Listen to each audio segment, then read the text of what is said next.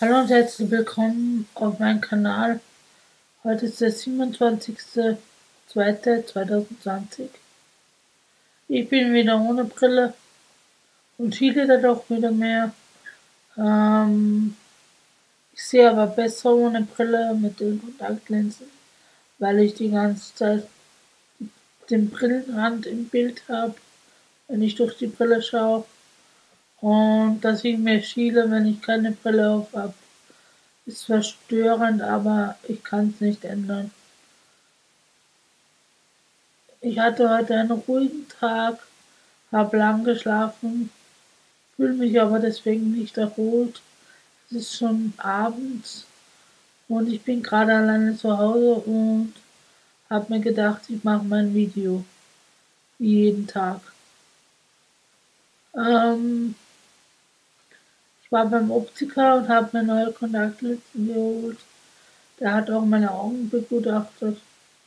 Die Augenentzündung dürfte weg sein.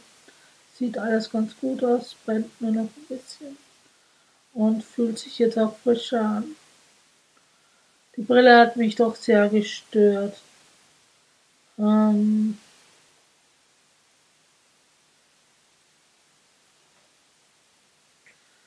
ja, ich habe heute etwas Geld bekommen von meinem Vater und ähm, mir das Reinigungszeug von Polish Choice gekauft im Internet. Die extra starke Version, das sind vier Sachen. Das ist einmal das Gesichtswasser, die Reinigung, also die Reinigung, das pH Liquid Peeling und eine Tages- und eine Nachtcreme. In großer Version 102 Euro, weil es die extra starke Version ist. Da ist, glaube ich, beim BH Liquid ähm, mehr von der, dieser Säure drin. Ein Prozent mehr. Auf jeden Fall ganz schön teuer. Ich schau mal, wie lange ich damit auskomme und ob ich da relativ schnell nachbestellen muss, weil dann ist es für mich kein guter Kauf, wenn ich damit nicht mindestens einen Monat auskomme. Und eigentlich sollte das gehen, weil mit den Testprodukten, mit den Luxusproben bin ich auch so circa einen Monat, drei Wochen hingekommen und hat auch viel gebracht. Mein Gesicht sieht momentan wieder mittelmäßig aus. Äh, am Kinn habe ich sehr viele Unreinheiten und Kratzspuren auch. Und hier habe ich auch gekratzt. Das ist halt teilweise dadurch, dass es mir nicht so gut geht.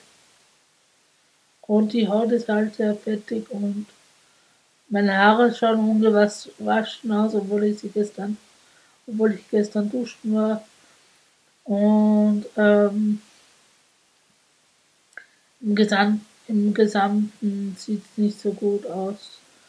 Die Haare sind nicht so gut gewaschen wie sonst und sind schon wieder leicht strähnig und bis morgen sind sie sich im Bett. Aber ich komme erst am Samstag wieder zum Duschen, weil da wieder die Volkshilfe kommt. Ähm,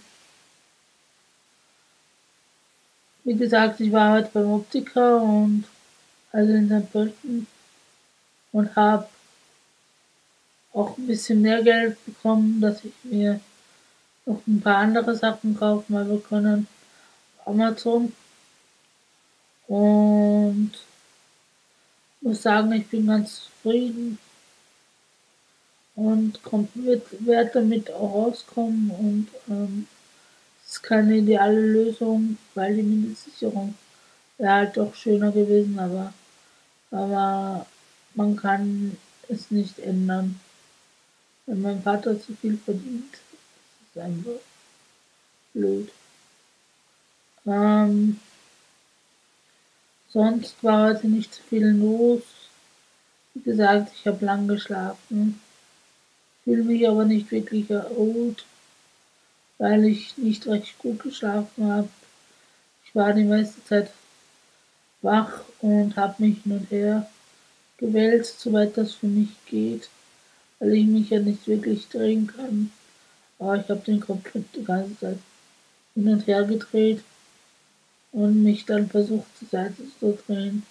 Und das hat mich auch nicht unbedingt glücklich gemacht, weil es nicht wirklich ging und ähm, ja, es war eine sehr unruhige Nacht.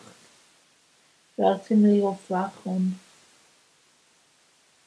und, und habe nicht besonders gut geschlafen. Ich habe zwar bis zwölf geschlafen, aber oder bis elf. Aber ich habe mich nicht sonderlich erholt. Heute werde ich noch bis neun aufbleiben, weil meine Eltern bei der Gemeinderatsangelobung sind und die bis neun weg sind, halb zehn vielleicht. Und dann werde ich schlafen gehen. Ähm, zu dem Video gestern wollte ich eigentlich nicht mehr so viel sagen. Ich glaube, ich habe in dem Video schon gut rübergebracht, was mir am wichtigsten ist an meinem YouTube-Channel und ähm, inwiefern ich euch helfen möchte oder helfen kann in meiner Möglichkeit.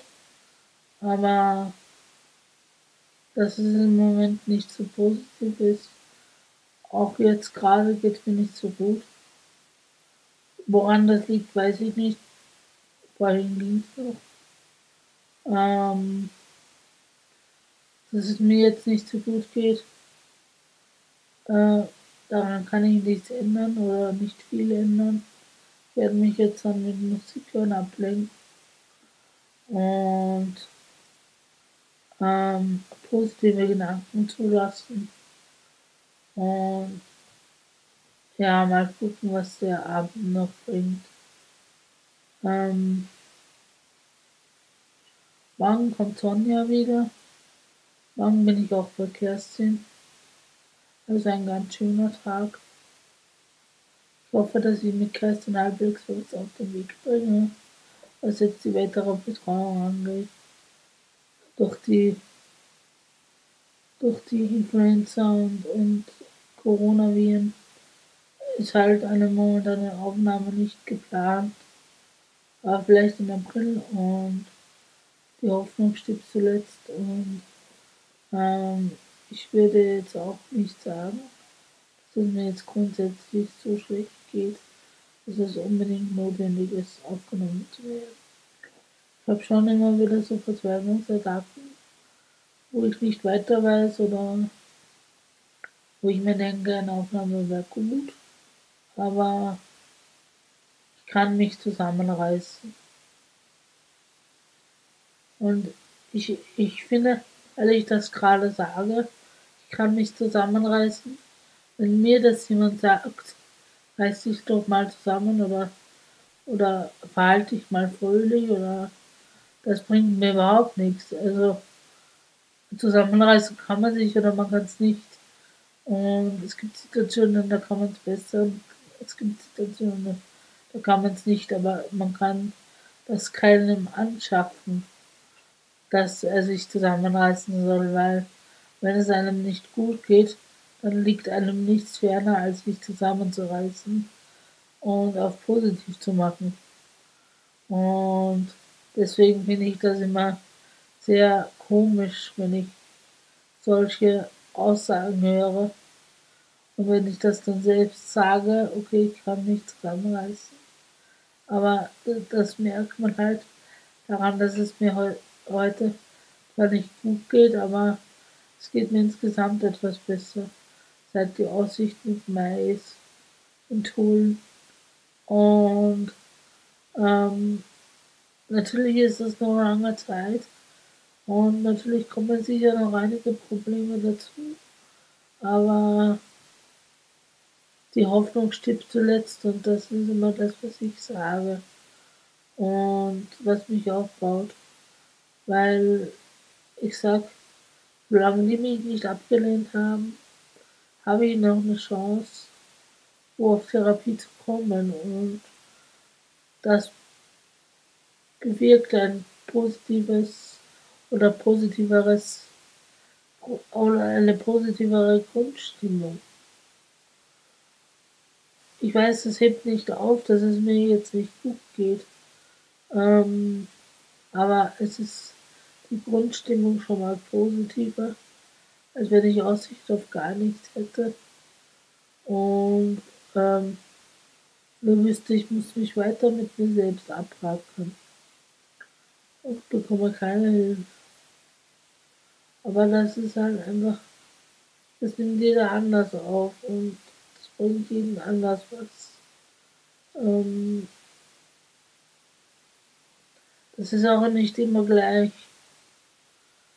Und dass ich mir heute die Polar Stress Produkte bestellen habe können. Und noch ein paar andere Sachen. Hat mich auch gefreut. Drei Tronis sind auch wieder dabei. Ähm, das hat mich auch gefreut. Und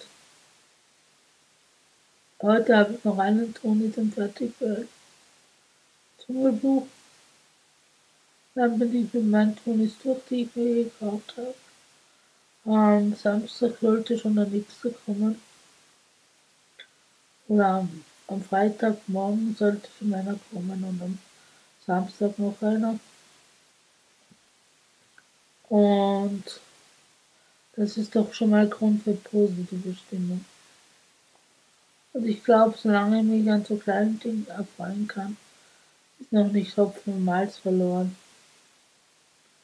Weil ich habe schon Phasen da hinter mir, da habe ich mich über nichts mehr gefreut. Und über keine, keinen Einkauf und habe ständig mehr bestellt, um mich irgendwie glücklicher zu machen. Aber es hat nichts gebracht. Und jetzt bringen mir Kleinigkeiten schon was. Aber auch wenn die Gesichtsreinigung kein großes Spielzeug ist oder kein, keine Beschäftigung in dem Sinn. Aber es ist für meine Gesundheit und ähm, daher, ich tue ja was für meine Gesundheit und für mein Hautbild und so. Und deswegen ist es auch positiv. Natürlich sollte ich mich nicht ständig über Einkaufen befriedigen, aber wenn es momentan so eins der wenigen Dinge ist, die mich irgendwie Freude bereiten, dann ist es halt einfach so. Manchmal muss man die Situation auch akzeptieren. Und das ist im Moment so. Ich weiß nicht, ob ich jetzt wieder viele Blödsinn geredet habe, aber ihr könnt mir es ja in die Kommentare schreiben. Ähm, habe heute nicht mehr viel vor, außer bis neun warten, dass meine Eltern nach Hause kommen, Dschungelbuch hören und einen Kaffee noch austrinken, noch ein oder zwei rauchen und schlafen gehen. Ähm, ja. Ich habe jetzt auch nicht mehr zu erzählen als das, was ich euch erzählt habe. Und deswegen will ich euch nicht allzu lange aufhalten. Und wünsche euch jetzt einen schönen Abend oder Tag, wann immer ihr das Video seht. Und bis zum nächsten Mal. Ciao. Eure Ines.